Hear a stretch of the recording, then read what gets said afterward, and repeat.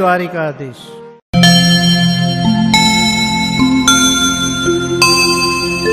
श्री द्वारिकापति मुझ आप शुभमति।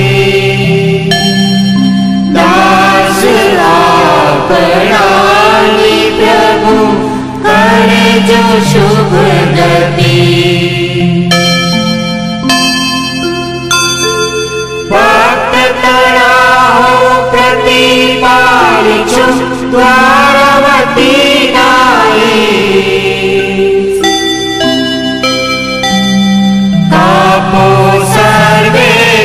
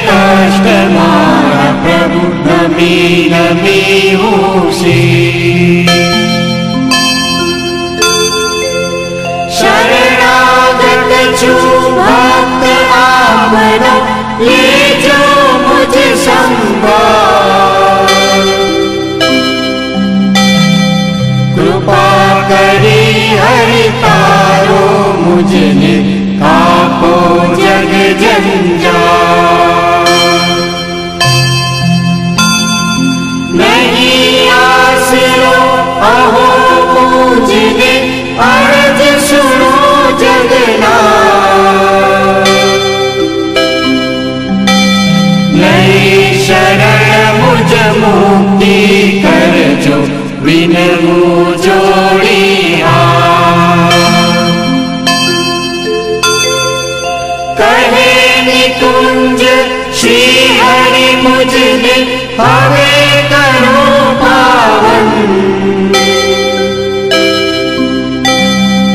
क्षमा करे सौ दोषो मारा दियो भक्ति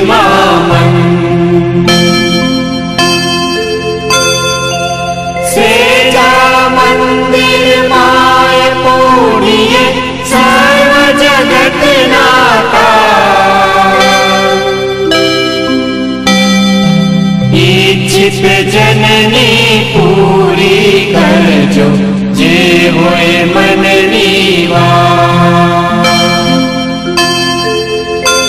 श्री द्वारिकापति मुझ आप शुभमति दास आपरानी प्रभु करे जो शुभ गति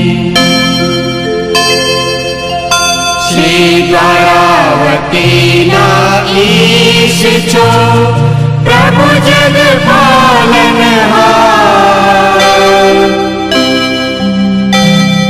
पोडो सुख से जामही प्रभु जग पालन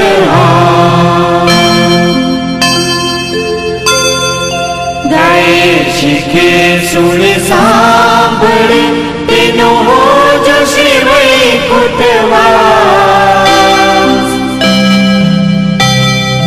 कर जोड़ी कहे दास तमारो जय जय द्वारिका